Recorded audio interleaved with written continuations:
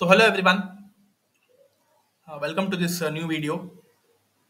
So in this video we are going to discuss with the pass transistor logic. Okay, the pass transistor logic, which is called as PTL, is an alternative logic design methodology that reduces the transistor count and enhances the circuit efficiency. Okay, so this pass transistor logic uh, is uh, mainly uh, applicable due to the reduced transistors and the efficiency would be uh, enhanced in the circuit part. Okay, it is particularly popular in NMOS circuits with the fundamental application being a two input multiplexer. Okay, so this is basically used to build the 2 is to 1 or 4 is to 1 multiplexers. Okay, a notable implementation of this PTL is found in the ALU function unit of the OHM 1 computer. Okay, so this was about pass transistor logic introduction.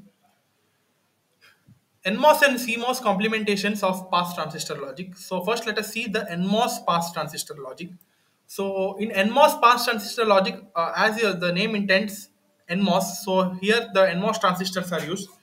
Uh, here you could see the diagram here. So this is used to to build one uh, simple 4 is to 1 mux. Okay, using NMOS pass transistor logic, they have built this uh, 4 is to 1 mux. In this NMOS based uh, PTL, the pass transistors are used to, steer signals to the output based on the control inputs. Okay, so this figure below illustrates the NMOS structure where only NMOS transistors are used. So if you see this uh, figure carefully, you would be coming with a conclusion. You see here.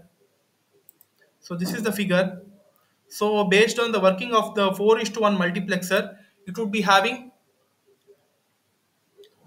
two inputs and four select lines, right?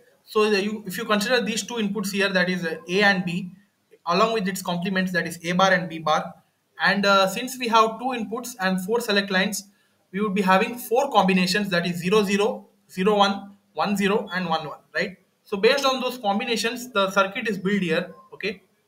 You see here, this is the NMOS pass transistor logic.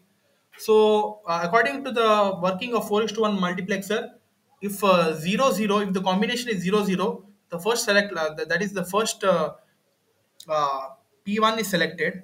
But here it is ulta, P4 would be selected first, okay?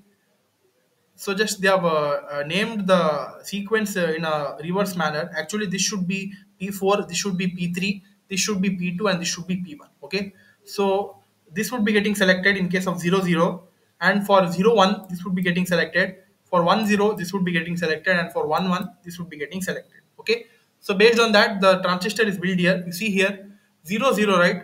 0, 0 means A bar, B bar. Okay in in the in the place of a bar b bar you see here we are uh, having uh, attached one uh, nmos transistor here a a bar and b bar so that the combination is 0 0 so when it is 0 0 p4 would be getting selected similarly for 0 1 that is a bar b so you see here a bar b the two nmos transistors are drawn below a bar and b so this would be getting selected then we have 1 0 that is a b bar. That is uh, here you see these two transistors a b bar would be getting selected. This line would be getting selected. Then we have one one that is ab again we have they have drawn two nmos transistors here and p1 would be getting selected. So these all thing would be combined together and one common output is taken okay? And that is called as the pass transistor logic output okay? So this is the complete stru- structure of the nmos pass transistor logic okay similarly we have one more kind of uh, pass transistor logic that is called as cmos pass transistor logic. In that we are using both pmos transistor as well as nmos transistor. Okay? So let us see that also in brief. Before that let us see the advantages. Advantages of uh, this uh, nmos pass transistor logic. It provides the fastest fall time due to strong nmos pull down and one disadvantage is that it suffers from threshold voltage lo- uh, loss that is the vth drop leading to the degraded high level signals okay so this is all about the nmos pass transistor logic now one more kind is cmos pass transistor logic okay So this figure you see here, with this you would be uh, it would be very clear about how the CMOS pass transistor logic would be looking like. Here they have built this using the transmission gate here. Okay, the CMOS PTL uses both PMOS as well as NMOS transistors, ensuring full voltage swing. Okay, this implementation provides strong pull up and pull down characteristics. So this is uh, the CMOS version uh, where each NMOS transistors are replaced with the full transmission gate as shown in the figure. if you compare this figure and this figure it is it is the same but one change is the nmos transistors are replaced by the transmission gates okay this is one uh, alternative figure for this one more alternative is there that is this one for the exam if they ask you should be drawing this figure okay again this is drawn for a 4 is to 1 multiplexer you see here again we have two inputs and four select lines that is P4, PT, uh, P3, P2, P1. So here it is uh, given in the correct se- uh, sequence here. Here it was given ulta, right? P1, P2, P3, P4. Here you see it is given in the correct manner that is P4, P3, P2, P1. Okay. Again, uh, according to the combinations, uh, when it is 0, 0, P4 would be getting selected for 0, 1, P3, for 1, 0, P2, and for 1, 1, P1. Only one change is that in the NMOS pass transistor, they are using only NMOS transistors. But in case of full voltage swing here, we are using also the PMOS transistor. Okay, just consider only this part here up to here. If you consider, it is same as the NMOS pass transistor logically. There is no change here. See for 0, 0 that is A bar, B bar. This is selected uh, just below that uh, NMOS transistors are drawn and for other combinations. But in, in order to draw the PMOS, it, you should be drawing just the opposite to that of NMOS. Okay. So you see here from P1, this is the connection for 1, 1, right? That is AB. Now if here for NMOS, if here it is 1, 1, complement to that for PMOS, it should be 0, 0. Okay for if here if here it is 1 1 if you want to draw for pmos transistor it should be 0 0 because the characteristics of nmos and pmos are just opposite to each other right so that's why you see here from this point p1 point they have taken one terminal here just and they have drawn two transistors just below a bar and b bar. That is 0 and 0 okay? Since here it is 1 1 that is ab you should be drawing opposite to that of ab that is a bar b bar. Similarly for next combination that is uh, this is p2 right? So this is uh, a and b bar that is uh, 1 0 since it is here it is 1 0 if you want to draw the complement pmos it should be 0 1 that is a bar b so here they have drawn the same thing here a bar b that is 0 1 for PMOS. From this point, they have taken it. Similarly, for P3, that is uh, 0, 1, uh, that is in this case, it is A bar B. But if you draw for uh, uh, PMOS, it should be 1, 0, that is A B bar. You see here, they have drawn it A B bar. Similarly, for uh, 0, 0, that is this line would be getting selected. It should be uh, A bar B bar. But if you want to draw it for PMOS, it should be 1, 1. Okay, so here we have AB okay? So these are this is the change for the uh, CMOS pass transistor logic if you compare it with the NMOS logic. Okay? So hope it is clear how to draw the CMOS pass transistor logic. Okay?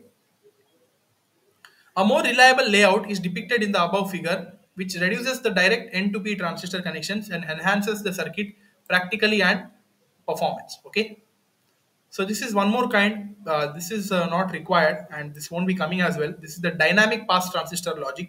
Here, what we are doing is the same as the NMOS transistor pass transistor logic. Just in the output, we are uh, adding one PMOS uh, circuit, and from the uh, and from the output, we are adding one NOT gate here and one uh, extra connections we are making, and from that point, we are adding one.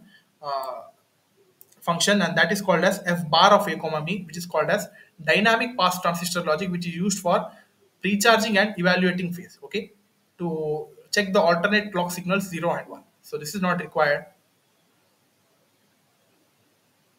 So these are the formal methods of designing the pass transistor logic okay?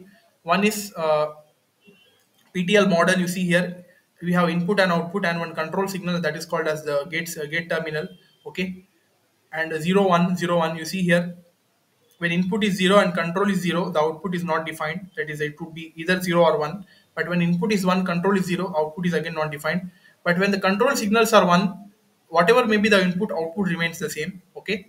Just opposite to that of the this is for nmos model and this is for pmos model okay? So they are mentioned here So this is the simple uh, diagram of XOR gate using pass transistor logic they are mentioned here. This is the truth table of XOR.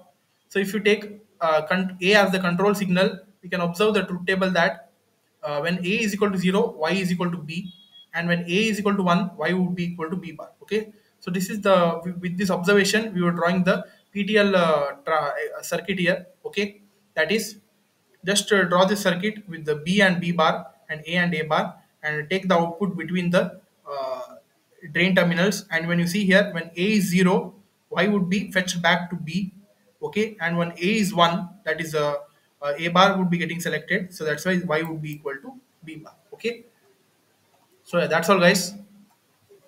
These are some of the challenges and uh, uh, considerations of uh, PTL. Challenges are voltage degradation, that is VTH, VTH drop, increased internal node capacitance, requirement for complementary control signals, slower pull down in complementary structures, and uh, some practices. Okay, some practices are it uh, it achieves efficient PTL circuits. The following techniques should be considered.